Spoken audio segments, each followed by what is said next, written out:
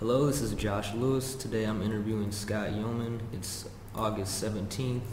We're in Washington, D.C. at his home. This interview is part of the D.C. Gardener's Oral History Project and is sponsored by the Neighborhood Farm Initiative and the D.C. Humanities Council. And we'd just like to thank Scott for being here with us today. And so could you just start by sharing your name and address with us, Scott? My um, name is Scott Yeomans, uh, Washington, D.C., um, on Sedgwick, Sedgwick Street, 3041 Sedgwick Street, across from the Melvin Hazen Garden. Thank you. So let's start uh, from the beginning. What, where were you born? California. Grew up in Southern California. All right. And uh, how was that? How long did you live in California? I lived in California for about 30 years before I moved to Washington, and uh, have been here 16 years now in Washington. Okay. Yeah.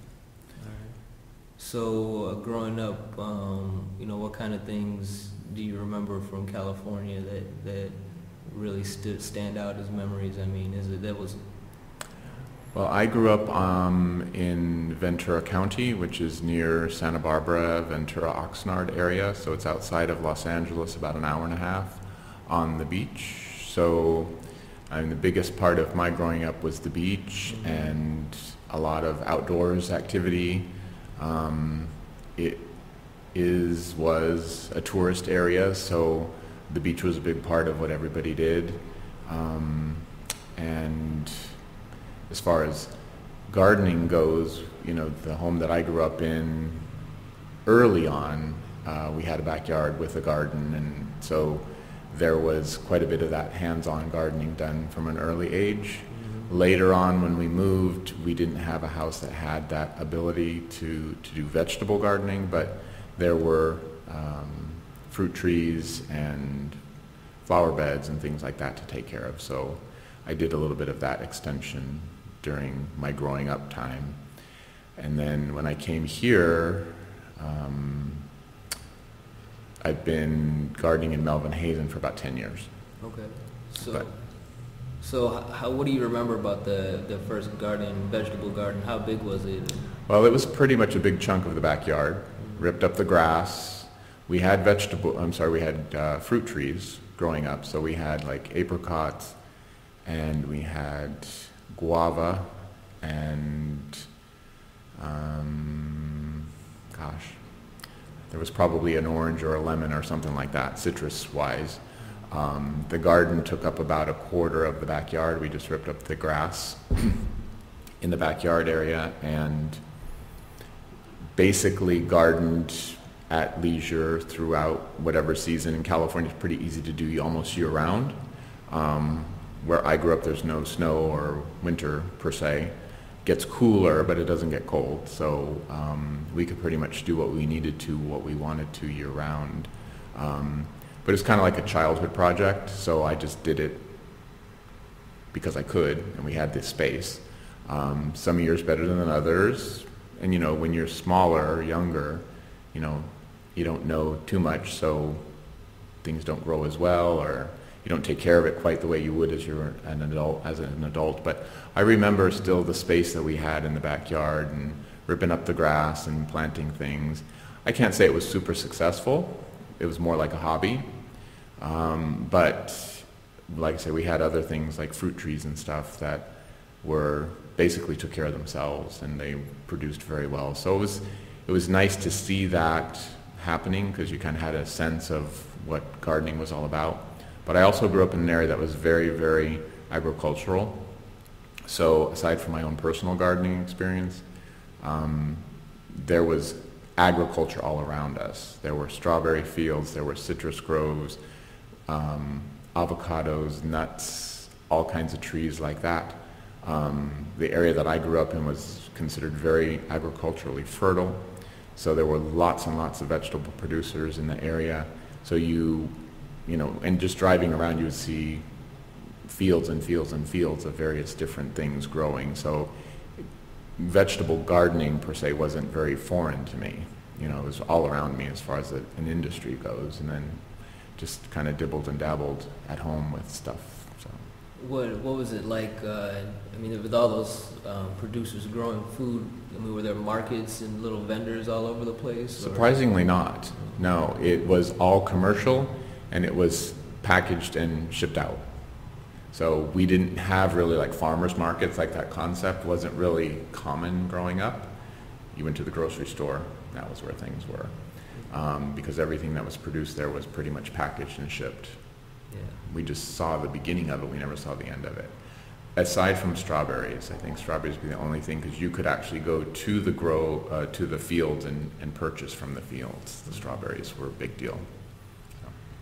So, uh, do you you guys sounds like you grew a good amount of the food that you that you ate at your house, or was it It was more experimental. I can't say we lived on it.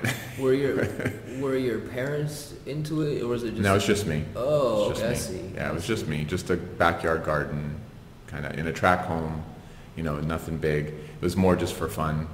Um, I always liked it, but it wasn't something that we lived off of. Did you have siblings that helped you, or I have a younger brother, but he wasn't he wasn't around when that was going on. He Okay. came much later, so. okay? yeah. Well, that's cool. I mean, Yeah. most people as kids don't just decide that they want to go and start growing vegetables. Well, true. It it was kind of a hobby, and like I say, I did it because I could, because we had the space. So it was kind of fun to do. Uh, like I say, not huge success, but it gave me the idea to, to try it later. So So, um, for the whole 30 years uh, that you lived in California, um, did you, when did you uh, leave California? I left in 1995. 95. Yeah, 1995. Right. So I've been here ever since. Okay, and you just you came straight to the East Coast. What, Mhm. what brought you over here? I um, worked for a company that was headquartered in Arlington. Mm, and the job that I had was expiring. And in order to stay with the company, um, they would move me to wherever I was able to get a job with the company, and I was able to get a job here in Washington. So I moved with the company because there were no job opportunities with that company in my area after the job expired. So in order to stay with the company, I was able to get a job here, and then they moved me here. So. So you moved to the district but lived in Arlington? No, I moved to DC, worked in DC, and lived in DC. Oh, okay. Um, the company was headquartered in Arlington, Gotcha. but the job itself was at the Department of Commerce. What neighborhood did you move to? I started out in Dupont Circle. Um, right off Florida and Massachusetts, that corner. Um, so South Dupont Circle, and then I worked downtown, so it was, you know, really about practicality and being able to get around on the metro and stuff. Sold my car, got rid of all that stuff when I moved here, so um, had to make things pretty practical. And then I moved up here to Cleveland Park about, let's see, so it'll be 13 years, just over 13 years now. Okay. So So 2000 to move to Cleveland Park. What what's so, what were some of the immediate things that stood out to you from you know West Coast to East Coast? I mean, have Well- you been here before visiting or? I had been back and forth. Um, part of my family lives in Massachusetts, and I spent a year there living. Um, went back to California, uh, went back to Massachusetts, and then went back to California. And then when I moved here, I had worked here for about mm, three, four months or so. Um, went back to California, then everything changed with the job situation when the contract ended, and then I moved back here um, permanently with the company. So I did a little back and forth. I had a, uh, you know, some exposure to East Coast in Massachusetts before coming here, um, but I had never been here except for a couple of months when I worked uh, at the Commerce Department for a short stay before I went back to California. So coming here from California was a big move because it was very permanent. Um, however, the adjustment wasn't really that difficult. I had already been exposed to kind of what it was like here, so it wasn't wasn't too bad. Do you remember some of the things that we were like, well, like man, I really like this, but it's not in in California or you know? The beach would be the biggest thing. Yeah. Not being close to the water would be the biggest Yeah. thing because you know here it's a drive. I could walk. Yeah. Do you prefer the whole no car thing, or do you? I do, mm-hmm. yeah. And I am. you know, I was carless here until about two years ago. So mm-hmm. um, I don't miss driving at all. No, not one bit. Driving here is awful. So I don't miss driving at, at, at all. So So when you moved to Fort Dupont, right? Dupont Circle. Dupont Circle. Yeah. Dupont Circle. What I mean, this. What was the neighborhood like? Is it, I mean, was it? Mm, well, it was.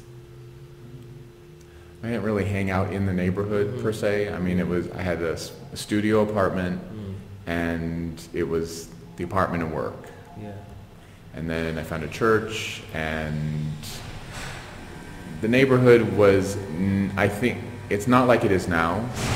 Um, there was no huge farmers market, number one, and there was. Um, the neighborhoods are still about the same, but um, there wasn't anything uh, different about it than really it is now. It's still quite busy and uh, cosmopolitan, a lot of restaurants, stuff like that. Um, Do you did you do uh, any of your grocery shopping in that area, or what did you? Well, what did you like to do? Farmers markets? Strangely, no. When I moved here, I really had very little sense of where things were. So um, the first time I lived here, for the first couple of months that I lived here, I was in Woodley Park. And the only places that I knew were close to where I lived in Woodley Park. And, and Crystal City. I thought Crystal City was Washington, D.C. I really didn't know geographically how things were laid out. So I went to the grocery store, and I only went to the grocery stores I knew, which were in Woodley Park and Crystal City. so strangely, until I figured out where everything was, um, getting to grocery stores was just going to where I knew. Farmers markets weren't an option then. I mean, back, I mean, seriously, back 16 years ago, I mean, that was not something that was very common, at least in the city center, like the big one that they have on Sundays now, that, that didn't exist. So it was pretty much just grocery stores and what I knew. So it was normal grocery stores, a Giant, Safeway, whatever. Nothing, unu- nothing unusual when, when it came to that. So.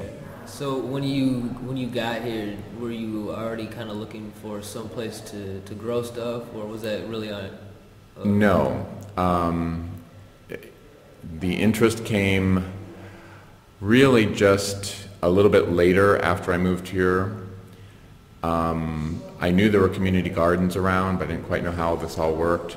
The one, the Melvin Hazen one, where I am now, is, um, or was, at the time, just kind of like, oh, what's this? Because looking at apartments in this area, noticed the garden, just basically read the kiosk out in the garden about it, and that's basically how I kind of found out, and then pursued it from there. And then just kind of became aware that there were other ones around and stuff like that. However, this one was the first one that I really had any exposure to, so. So um, you didn't you didn't really find out or search for community gardens until you moved to this neighborhood. Right. hmm And I really didn't think about the concept. I mean, it wasn't something I was striving to, to, to find or work with or anything like that. It just kind of happened, and it just sounded like a good idea. What year approximately? Well, moved to this neighborhood in 2000 and was put uh, on the waiting list for Melvin Hazen a couple years prior to that. I was on the waiting list for four or five years before Wow. I got a space there. So I knew about it just because, you know, had seen it when we were looking for apartments in this general area. Got put on the waiting list, and ironically, when I cleared the waiting list is when we moved into this complex. So, Okay. And, I mean, this is right around the corner. You really couldn't have got much oh, closer. it's across the street. yeah, yeah. so, yeah, it, it worked out really well, and it actually is just as well it happened when it did because it would have been a little more difficult to manage it if I had to commute to get to it. So, yeah, yeah. especially at that time having no car, um, it's a lot to take care of, and even walking across the street to take care of it is a challenge sometimes, just because yeah, you're subject to the weather, you're subject to whatever. Uh, so it worked out really well in my case, yeah. So, so when you, you, you get your plot, I mean, it's been several years really since you. Mhm. So, what, what, what was it? What were you thinking? What, what state was the plot in? Do you remember? Was it? When I first got it, um, I mean, it wasn't bad, um, but it wasn't like manicured or perfect, ready to start. I had to do some cleanup. Um, nothing major, but I had to do some cleaning up, get rid of some weeds, basically scrape it clean and start fresh. It wasn't bad. Um, I was really fortunate because being on a waiting list for so long and then getting the plot, I ended up with one that was in a good location, full sun, and a decent size because mine is 10 by 17 approximately, so it's about a size of a good bedroom. It's a lot to take care of, but it was in decent shape. I don't know how long it had been, um, you know, left before I got it. However, because of the cycle here, best I can gather is probably just over the winter, you know, because the season ends around November and then you pick up again in May. So it looked like a normal wintering over kind of situation. It wasn't bad. It's not like it had been abandoned for years or something like that. So. So, so were you pretty confident going in? I mean, did you know what you wanted to plant? Did you have? Mhm. A, yeah. Yeah, I thought so. Uh, once I cleaned it up, I kind of had a sense of what I wanted to do. Um, so that wasn't really a, much of a mystery. It was just a matter of cleaning it up, getting started, and seeing how it went. Um, the garden's organic and it's run by the Park Service, so you have to follow the Park Service rules and um, follow the inspection schedule that the garden has set up. So as long as you, you know, stayed within those guidelines, um, yeah, I kind of knew what I wanted to do. Nothing outlandish, nothing, you know, too, too uh, exotic, normal stuff. Tomatoes, beans, um, squash, simple stuff. So I figured I could fill it up really easily uh, with stuff that I could take care of. Years, as years went by, then I started, you know, venturing out for some other things to see what to do. But yeah, I pretty much knew what I could do. Yeah. Was was the uh, you mentioned the National Park Service uh, and one of the rules is that it has to be organic. There was Mhm. that something you were accustomed to already, or Well, just by just by nature for myself, it's something that I always would have maintained anyways. So um, adhering to the rules wasn't a problem. Um, I wasn't inclined to go any other route anyways, so I probably would have done that even if it wasn't the rule. But um, they don't permit um, pesticides, herbicides. Um, I don't use anything on mine. I don't use fertilizer either. It's all natural, and so I didn't have any problem with it. So, and I wasn't planning to go um, investing in pesticides and herbicides anyway. So it was going to be whatever happens, happens. So um, actually. Um, the guidelines are pretty straightforward. The biggest things that they have um, set up are just making sure that you weed properly, harvest properly, um, and maintain your plot and keep it organic. So it's not too not too strict. It's pretty basic. So um, where where did you get like your seeds or seedlings? You know, in, in the first few years, did you have a Just- consistent spot? Or? I used to go, well, still do, um, Johnson's, which is the local nursery up the street. American Plant Food is another one. Um, those are my two primary sources of getting seeds and plants. Um, I tried mail order a little bit later on. I found that to be more expensive than necessary, a little too cumbersome. I didn't like all the packaging, and then, you know, you had to plan a little bit differently because you had to allow for shipping time, and they only had certain things available at certain times. Then when you got them, it may be too early, and you couldn't put them in the ground. So what do you do with them? Especially when you're in an apartment, there's no place to put any of that kind of thing. You can't put them in your garage or uh, keep them under some kind of fluorescent lights or whatever they needed, whatever. So you had to order things just right so you got them when you could plant them and hope that the weather was permitting and, and whatever else. So I pretty much just stuck to the local nurseries. Was there anything that you wanted to plant that you know that you remembered from back in California that you were just kind of bummed out when wouldn't really work here? Or No, not particularly. Um, there are certain things that are a little more labor intensive that I wouldn't say were memorable things, but things that I would have liked to have done here that I just couldn't couldn't make work, like strawberries for one. I could never get mine to go. Other people in the other plots, no problem. I just couldn't get mine to work. Um, you're not allowed to do corn or tall things that'll shade out other plots, corn being one of them. Corn would have been fun to do, um, but it's just not one of those things that works if you have neighbors and you are at risk of shading them out because of the sun or whatever. Um, but no, there wasn't anything particular that I wanted to try that I couldn't try for whatever reason. Just I just worked with what I knew I could manage. So.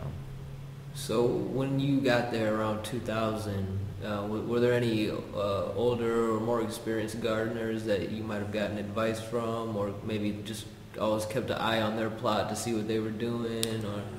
Well, there are a lot of people there that I knew had been for a while, and they're still there. So people that I know, a lot of people that are around me are the original gardeners from when I started, so I knew they had to been there before me. Um, I always found the people that I was around to be more than helpful with information. Everyone shared, still do, you know, share if you've got an overabundance of something to help yourself, whatever. Um, so, like I'm in a situation right now where I have no kitchen. Kitchen's being fixed. So all the stuff that I've been growing this year I can't use. So I've been giving it away at work or offering it to people around me, stuff like that. And that's pretty common around um, with help and with produce. So um, we have two meetings a year with the garden and that's where you really get more of the insight from the experienced gardeners because they will share at that point because half the time you're out there there's one or two people out there you know you never know who you're going to meet so it's really kind of hard um, to engage in a conversation. But I've heard many people talk to each other about, you know, what do I do with this? I've never seen this. I've got this bug. What do I do with that kind of thing? Um, so there's a lot of experience out there, um, and people are more than happy to to share. And I've been asked. I'm no expert, but I've been asked, you know, how did you get that to grow? Or I've been I've been trying to get that to grow for years. I can't get. How did you get it? It's like you know, there's no trick. It just either works or it doesn't work. So. but it's kind of interesting because some people can grow stuff just fine and other people try the same exact thing and it doesn't work for them. So I don't know. The soil shouldn't be that different, but it could be very different from plot to plot to plot depending on what you've done or not done. So depending on the balance of the soil, certain things will work from one spot to the next. Um, even if it's the same shade and sun and whatever. It's just a little bit um, trial and error to see uh, what will work. But it's a lot of experience, a lot of helpful people. So. What, what types of techniques have you tried uh, for soil, you know, amendments or improvements?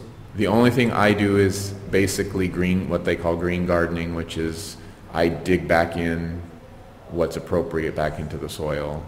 You don't want to put stuff that's diseased back in. So when you eliminate that element, basically anything that's grown in there goes back in there and it just gets plowed under and decomposes and becomes dirt again. So I don't use any fertilizers or amendments. I tried early on getting stuff. Um, there's a couple products out there that you can get at the nursery to enhance the soil and stuff like that, but I didn't find them to do any good or harm, so there was no point in it, so I just stopped. Um, so I just rely on the green garden concept, which is just to plow things back in let the ground take care of itself. And rotating crops. That's a big deal. I mean, it's kind of a standard thing to make sure that you're rotating stuff because one crop could deplete certain nutrients from that area, so moving them to another area will ensure, or more or less ensure their success than planting them in the same place year after year after year. Um, so over the last, I mean, just under 15 years you've been there, have, have you noticed any type of like demographic changes in who's gardening? I mean, age-wise, or I mean, families or single people, or not really. The mix has always been pretty bold. So there's been a mixture of families, kids, older people, single people. There hasn't really been a shift that I've seen. It's pretty consistent. The turnover in the garden, at least in this garden, is relatively small. There's over 200 people on the wait list right now, from what I understand, and the turnover is not very rapid. So the few gardens that do turn over, you don't notice new people that often simply because there's not a big turnover out there. That particular garden, I don't know why, but the waiting list is pretty long and you're pretty much guaranteed of a five-year wait once you get on it. So, so noticing a change in the demographics is limited because it doesn't change very often. Seems so. Yeah, No. yeah. How uh, how have you noticed that the relationship and interaction between you know the rest? I know you're part of the neighborhood, but the rest Mm-hmm. of the community and neighborhood and Melvin Hazen. Do people stop and ask questions? Do Mhm. people? I mean, Yeah. have you ever had people you know theft or uh, I don't know? Um, Well, fortunately not theft. Um, there's very little that seems to go on in that respect. Um, I mean, it's kind of interesting because the garden is pretty right there. You know, there's nothing to keep anybody in it or out of it. Um, the years that I've been with it, it's been pretty consistent as far as um, safety and people's plots you hear about the random stuff like, you know, I had this or that out there and the next day it was gone. You know, where did it go? It could have been anything from a deer or a squirrel or a bird or a person. You never know. Um, but there's really been nothing that's changed that I've noticed, you know, drastically over the years that I've been in the garden. Uh, it's been pretty consistent all along. The biggest thing that we've dealt with as a garden community has been um, the deer. That's been our biggest challenge, and rabbits. So keeping the deer in their area and the rabbits in their area. So you're you- like that garden, and I don't know if this is true for all of them, but for ours, what we did was we would put up a deer net. So there's a higher net around the chain link fence to prevent them from jumping in, and um, there's no way to prevent the rabbits and other things from digging under the fence and coming in from Rock Creek Park. So it's just nature. You know, it's not a whole lot you can do with it. You just got to hope that whatever you put out there is going to survive until it's mature enough. Um, a lot of people take their own measures. They build little fences around, or they cage things in, or they drape things up, because it's kind of a shame to go all season and you're waiting for this one particular something to become ready, and then overnight something comes and takes a bite out of it or something. So um, people do various things just to try to protect what they're growing, or they just leave it to chance. I don't generally take any special precautions.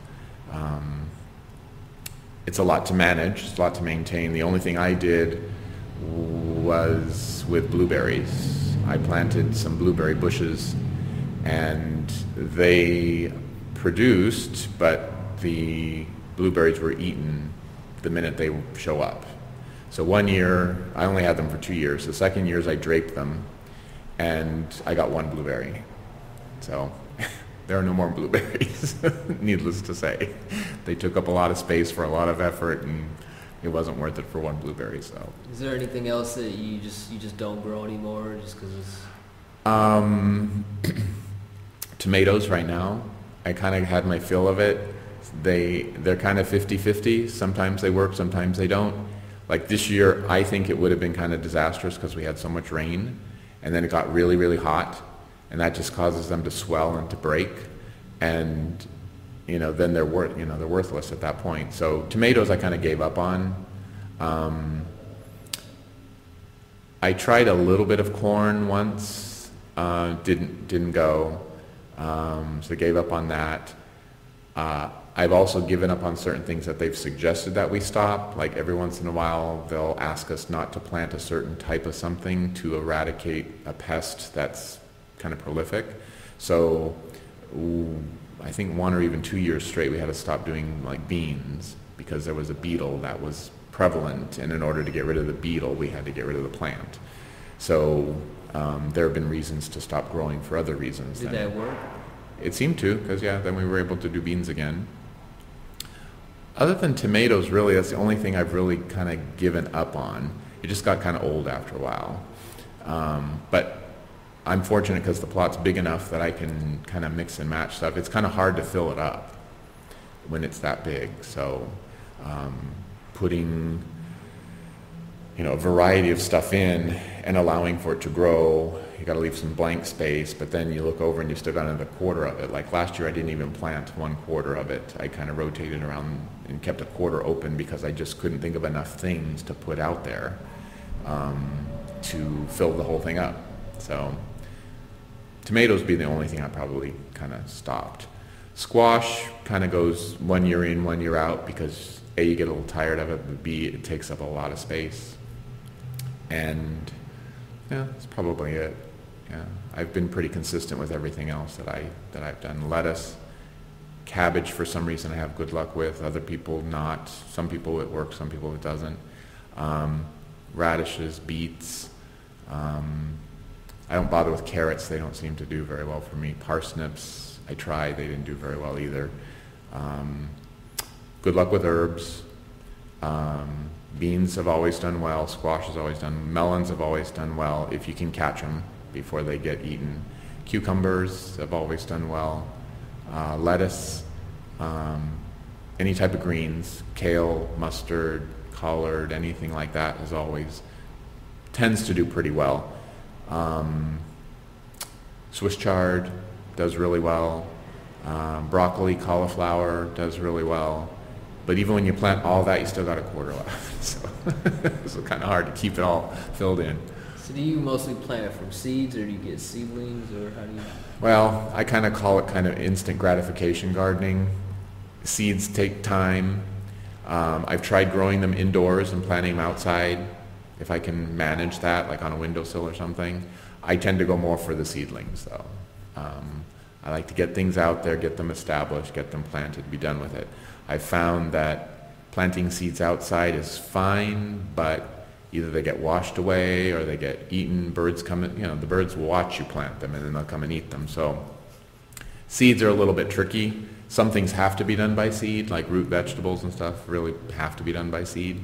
Um, so I tend to go more for the plants and do only seeds when I have to do seeds. So, So um, you mentioned one reason to not grow tomatoes this year was the strange weather. hmm And I mean, I know in the last few years I've been here, it's kind of really been different almost every year. hmm I hmm mean, how how does that compare to the last uh, almost 20 years that you've been in DC? Well, uh, the weather was a little bit more predictable. Like you, you expect the summer to be hot and humid. It's just that when it gets extremely rainy and wet, because the at least, and this is nothing official, but my observation is the tomatoes do better when they get um, a good amount of heat and a and a and a appropriate amount of water. But when it gets rainy and hot and humid, they just kind of swell up like a sponge and then they kind of burst and then they're kind of pointless. So it seems to be more that we get that type of weather as time has gone on and so the tomatoes just haven't, haven't done as well. And then also that kind of weather promotes, I think, probably some of the mildew that uh, uh, shows up on squash. You get a lot of mildew on squash leaves, cucumbers, stuff like that um, that humid, damp kind of weather when it doesn't dry out enough. Um, so I've seen that type of weather take its toll on some of these more standardized products um, or vegetables that we used to not have as much trouble with, at least as a home gardener. So, Have you ever uh, served like on the committee or the board? mm-mm. no, not with Melvin Hazen, no, Yeah. no. I knew I didn't have the time to volunteer, so I didn't, I didn't offer, so. Do you, do you remember any like uh, mistakes you made? You know, here, you know, uh, that you just like, man, I can't believe I would have tried to grow something next to this, or Um, well, no, not really. I was pretty realistic with what I did. Um, this year, and actually not this year, last year, um, I started, um, no, it was this year. I started asparagus. Asparagus is a two-year minimum, and it's actually growing. So I'm going to give it a shot and see what happens. Um, I did try, like I mentioned earlier, like parsnips and carrots. For some reason, they just didn't didn't didn't work. Um, there's really been nothing though that I I really thought would would work. Well, the blueberries probably I thought should have gone a little better, but for the most part, no. Everything I've tried, I pretty much had realistic expectations with. Um, but there were no mistakes necessarily that I can think of that. it's been so many years. okay. There's bound to be something that didn't go right that I probably did wrong. Um, technique probably more than other things like um, either planting seeds too deep or planting them too shallow or planting them right, not my fault, but planting them right before it rains and they wash away. I've had to replant the garden more than once just because of that. You know, you get it all cleaned up, you get it all seeded, you get it all set up, and then you get some torrential rain for the weekend and it just washes the whole thing away. Um, I've left things out too long sometimes, hoping they'll get a little bigger, a little riper. Off they go. Um, but, you know, no major blunders, just kind of, oh well, mistakes kind of thing. So What what time of what type type of day gardener are you? In the mornings, weekend gardener? Weekend, yeah, it has to be the weekends for me, for the most part, yeah. Um, we have an inspection schedule in Melvin Hazen, so it's kind of a random thing, but it's usually once a month. And I inevitably am always a week behind when they've done the inspection. Um, but I pretty much stick to the weekends because that's the time when I can do it. Very rarely would I be able to do it in the evening after work or in the morning. Usually the weekend, yeah. And then you're limited, you know, if it's raining or if it's 105 out, it's like the last thing you want to do is go weed. So, but yeah, weekends for me. So have you have you visited any of the other community gardens in the area? Or? I've just seen them. I haven't gone through them, but I've seen a couple of them around. Not not to explore them really, just to know that there's a couple of them out there. Um, but I haven't really explored them at all. Just know that they're out there. Yeah. Um, so what type of uh, when your kitchen is working? I mean, what what type of dishes? I mean, it seems like you know what you grow. You prepare the things Mhm. different ways, or is there specialties that you have, or just what do you usually make? I'm pretty holistic with and nutritious with my cooking, so um, I don't do anything that's too elaborate. And generally with squash, um, you know, it's boiled or something a little steamed type of thing. I've had really good luck with potatoes the last couple of years, which surprised some people, including myself. They were really good and they really worked. Um, and so, not for baking, but for mashed potatoes or putting into soups or stews or something like that.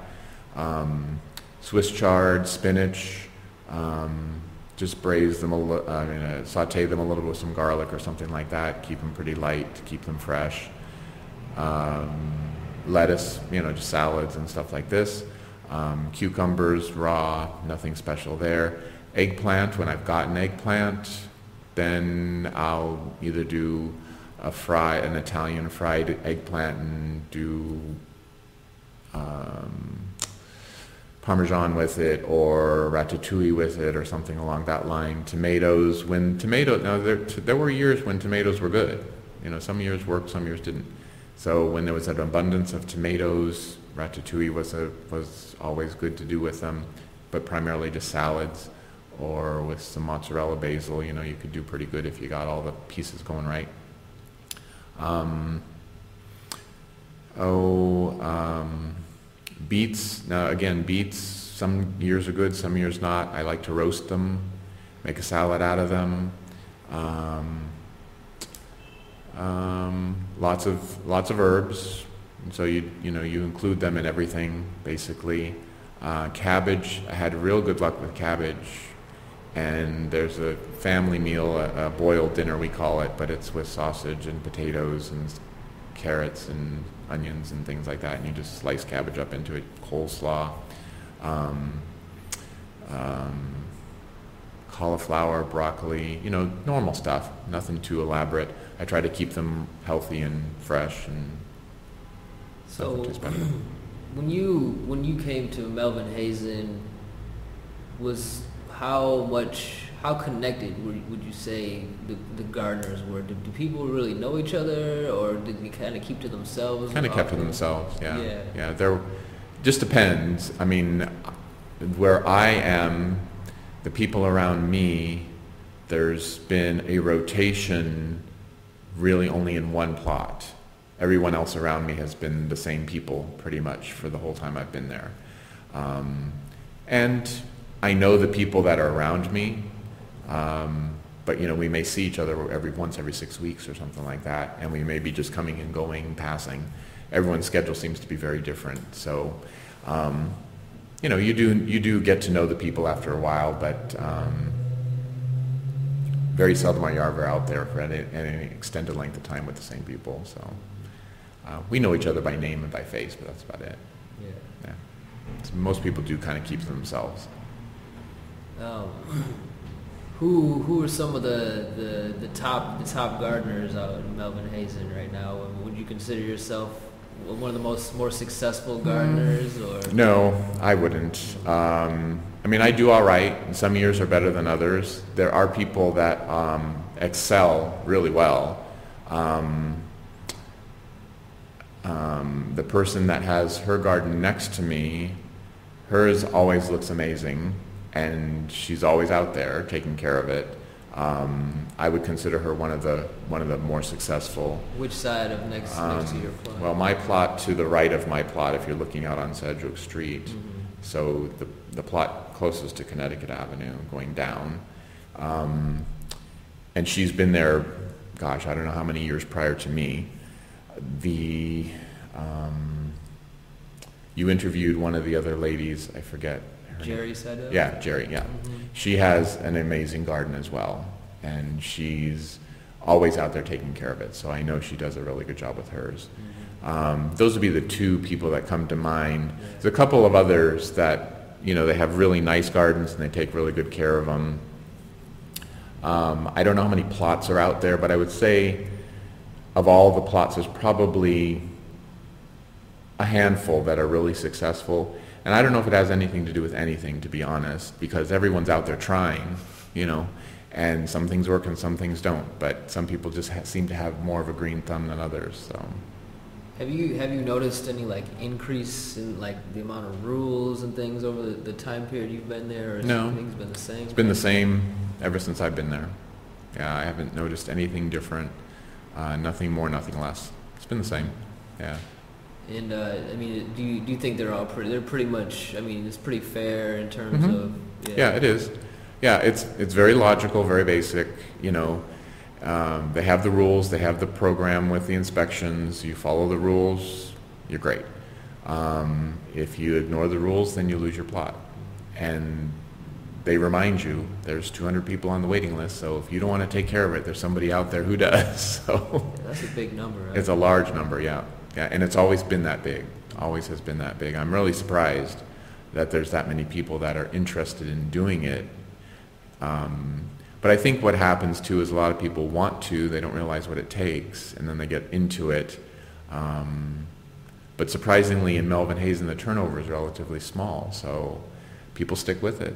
So So f- for you, uh, what other than like, I'm sure time, enough time is probably a big challenge for Mhm. everyone. Is is there anything that like really stands out as like a major challenge as a urban gardener, or is, is Well, to me, the biggest challenge is kind of twofold, is staying on top of it because of the rules. Now, there's not a lot of them, but you've got to stay on top of it.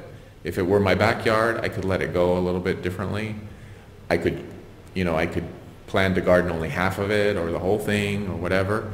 Um, however, because there are guidelines that have to be maintained, you have to stay on top of it a little more um, diligently than if it were your own to manage.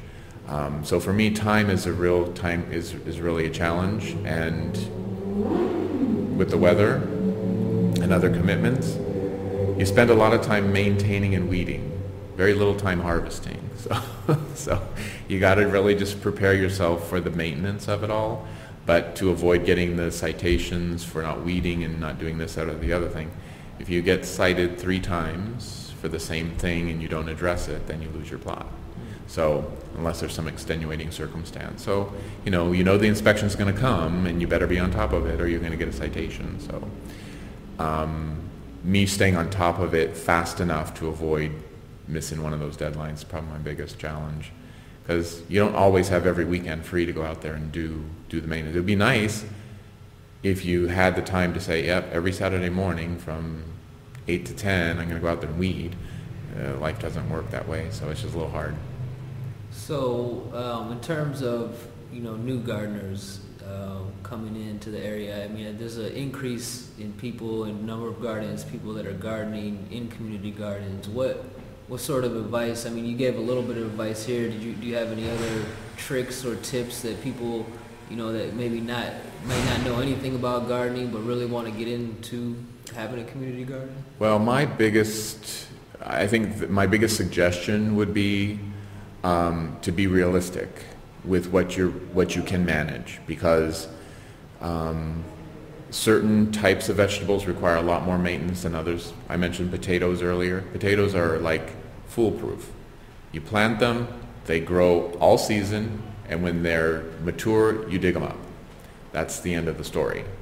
Um, now there are different parts about potatoes that you need to know, but basically once you plant them, they go the whole season and you dig them up.